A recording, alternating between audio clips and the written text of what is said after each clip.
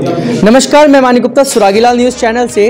और जैसे कि आप सभी जानते हैं कि उत्तराखंड, यदि हम प्रदेश की बात करें तो यहाँ पर मुख्यमंत्री पुष्कर सिंह धामी द्वारा लगातार जो है जनता के बीच में एक बात कही जा रही है कि नए उद्योग स्थापित करने में एक कीर्तिमान जो है वो साबित करता जा रहा है उत्तराखंड। तो ऐसे में हम बात करें, कुछ उद्योगपति लगातार मीटिंग भी कर रहे हैं, उनसे भी हम जानेंगे। दरअसल मैं आपको बता दें कि उद्योग स्थापित करने के लिए भले ही वो यहाँ पर आ रहे हो, बाहर से जो निवेश है वो हो रहा हो, परंतु यहाँ पर निवेश के बाद अपना इंडस्ट्रियल सेटअप खड़ा करना कितना बड़ा चुनौती मतलब एक बात है कि चुनौती कितनी बड़ी है उस चीज़ में। इसी विषय में हम बातचीत करेंगे। आज किच्छा से हमारे बीच में एक उद्योगपति जुड़े हुए हैं, उनसे हम बातचीत करेंगे। तो सर, क्या बताना चाहेंगे आप?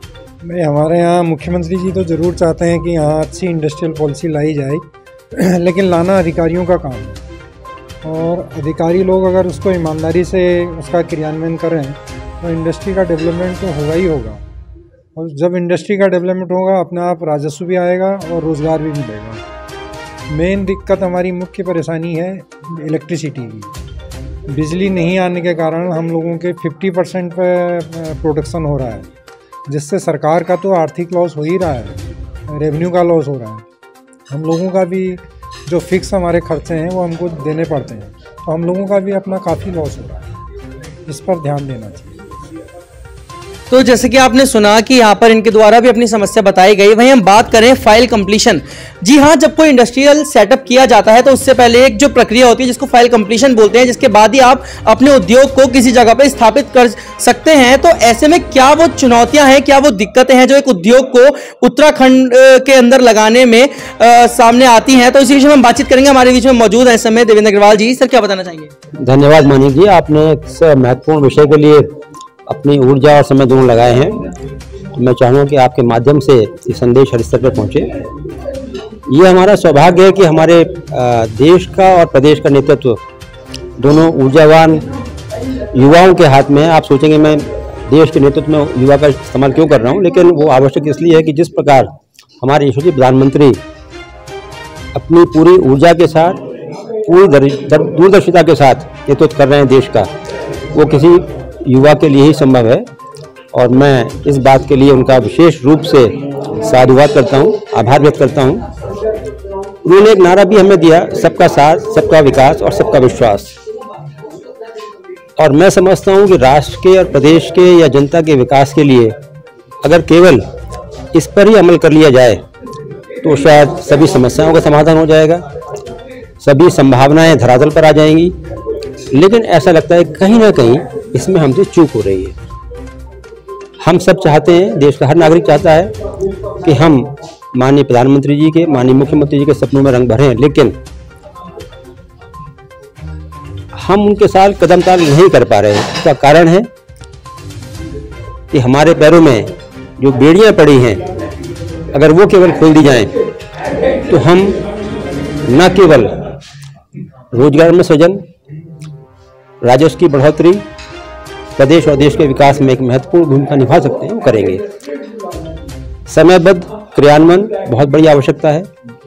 पॉलिसी सकारात्मक हो, नकारात्मक कुछ भी हो, लेकिन अगर बुनियादी समस्याओं का निदान तहसील स्तर पर हो जाए, जिसके लिए वो अथॉरिटी रखते हैं, हर कार्य के लिए हम मुख्यमंत्री जी के पास या देहरादून नहीं जा सकते। दुर्भाग्य से प्रदेश में ऐसा हो रहा है। छोटी छोटी चीज़ें भी, ना तो समय से उनका समाधान मिल रहा है और ना ही मार्गदर्शन भी। बहुत समय बाद, बहुत प्रयास करने के बाद ये हमें मालूम पड़ता है कि जिस स्तर पर हम प्रयास कर रहे थे, वो उसके लिए उपयुक्त था ही नहीं। तो मेरा निवेदन यही है कि हमें सकारात्मक नीतियाँ मिलें। हमारे आवेदनों पर समयबद्ध क्रियान्वयन हो। और कंपेटिव पॉलिसीज़ हमारे सामने हों। क्योंकि जैसा मुझसे पूर्व पी मोदी जी ने बताया कि अगर हम अपने उद्योग पूरी कैपेसिटी पर नहीं चला सकते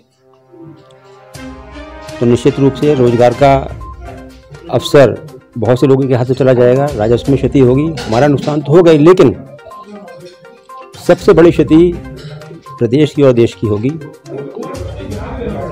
क्योंकि बहुत सारी इंडस्ट्रीज़ जब सीख होने लगेंगी तो आज जो पूरे देश में चर्चा का विषय है, बैंकों के एनपीए, स्वाभाविक रूप से बढ़ेंगे। श्रमिकों में जो असंतोष है, वो भी बढ़ेगा। और बहुत सारी समस्याएँ जो इससे जुड़ी हुई स्वतः पैदा हो जाएँगी। तो हम ये चाहते हैं कि जिस प्रकार से उत्तरांचल का जब गठन हुआ, उत्तर प्रदेश से अलग होकर तो बहुत समय तक हम उत्तर प्रदेश की ओर देखते रहे अपनी पॉलिसीज़ के लिए। हम उसी नीति और नियत के साथ आज भी देखें, जिस प्रकार से हमारा निकट प्रदेश, हमारा सहोदर प्रगति कर रहा है, उसी पथ पर हम भी चलें। धन्यवाद। तो ये हमारे बीच में जुड़े थे किच्छा से एमडी भ्रमी मिल के और साथ ही हमारे साथ सीएमडी मौजूद थे केवीएस ग्रुप के, जिन्होंने हमें जो असली समस्या है, उससे अवगत कराया वहीं मैं स्वयं सूबे के मुख्यमंत्री पुष्कर सिंह धामी जी का ध्यान जो है, वो भी यहाँ केंद्रित करना चाहूँगा कि जो भी समस्या इंडस्ट्रियलिस्ट को फेस करनी पड़ रही है, वो कहीं ना कहीं समस्या पूरे प्रदेश की है, क्योंकि एक प्रदेश को चलाने के लिए इंडस्ट्रियलिस्ट और ये जो उद्योगपति हैं, क्या भूमिका निभाते हैं, यह आप सभी जानते हैं। मैं सुरागीलाल न्यूज़ चैनल से मानी गुप्ता, अनुश्री भारद्वाज के साथ। उत्तराखंड की खबरों से जुड़े रहने के लिए आप हमें सभी सोशल मीडिया प्लेटफॉर्म्स पर सब्सक्राइब लाइक और फॉलो कर सकते हैं। धन्यवाद।